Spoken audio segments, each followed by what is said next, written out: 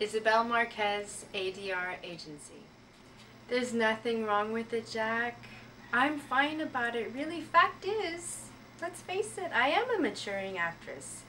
I'm not gonna get those plush roles anymore, but I would be damned to play anybody's young twit's grandmother. What?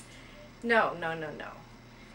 But you know, this job, being a host of a TV reality show, it has a certain cachet, you know, and maybe it would show those people over at Miramax that Mama hasn't been put out to pasture yet. Okay, Jack?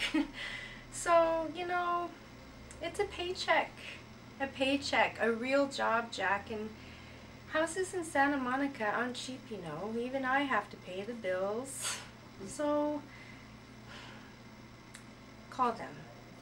Tell them I'm interested. I mean, lesbian dwarf sounds interesting, okay? And you know, people. People will be able to relate, and I mean, if even little midgets can find love, that's touching, you know? I mean, lesbian dwarfs, a love challenge. I, I like it. I like it. It's, it's funny.